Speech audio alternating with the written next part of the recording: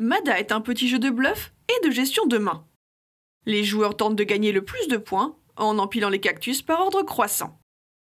Mada nous transporte à Madagascar, une île paradisiaque débordante de figues de barbarie. Les cartes représentent des cactus, avec un numéro qui va de 1 à 13. Plus le chiffre est grand, plus il y a de figues. Chaque joueur commence la partie avec trois cartes. Lors de son tour, le joueur actif a trois choix. Il peut jouer l'une de ses cartes, piocher ou prendre un risque. Lorsqu'un joueur joue une carte, il la pose devant lui sur sa pile personnelle. La carte doit avoir une valeur supérieure ou égale à la première carte de la pile. Piocher consiste simplement à piocher une carte et à l'ajouter à sa main.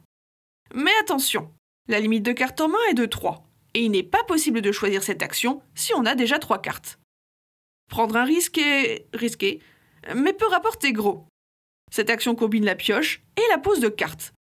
Lorsqu'un joueur prend un risque, il prend la première carte de la pioche et la joue immédiatement.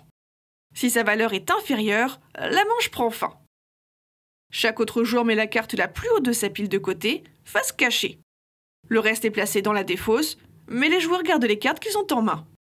Seul celui qui a déclenché la fin de la manche peut choisir d'en placer dans la défausse. Une nouvelle manche peut alors commencer. Si la pioche est vide au cours de la partie, toutes les cartes des piles personnelles, à part la première, sont défaussées. Puis la défausse est mélangée pour former une nouvelle pioche. La partie s'arrête lorsqu'un joueur met de côté sa cinquième carte cactus. Chacun compte combien il a de figues sur ses cartes mises de côté, et celui qui en a le plus gagne. Quelques cartes spéciales viennent pimenter le jeu. Les lémures sont joués normalement à la place d'une carte cactus.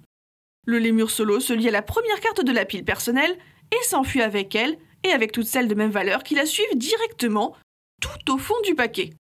Quant au double lémur, il permet d'échanger sa pile avec celle d'un autre joueur.